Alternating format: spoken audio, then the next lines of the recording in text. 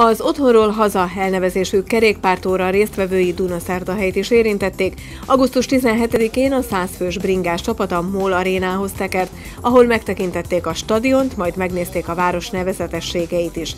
A kerékpáros kaland célja, hogy két keréken kösse össze a határon túli magyarságot az anyaországival.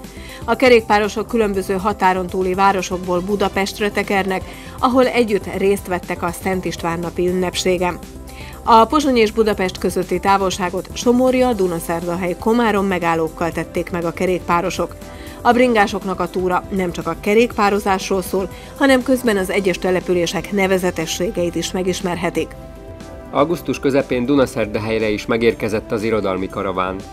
A roadshow során Magyarországon és az országhatáron túl is utaztatják a hagyományos és a kortárs irodalmat.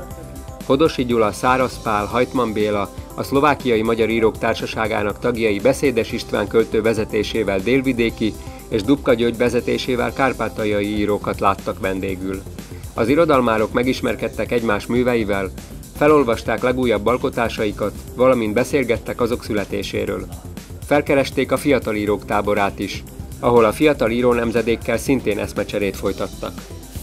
A Dunaszerdahelyi Csallóközi Népművelési Központ ukrajnai menekültek gyermekei számára rendezett alkotóműhelyt a Csallóközi Múzeum kiállító termében.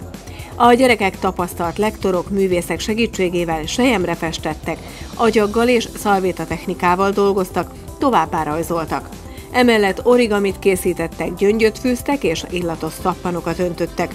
A rendezvényen részt vett Tanya Kianicia, az Ukrajnából három éve a Csallóközbe költözött fiatal művésznő. A gyerekek az alkotásokat magukkal vihették, és bár nem tudtak közös nyelven kommunikálni, a művészet nyelvén megértették magukat.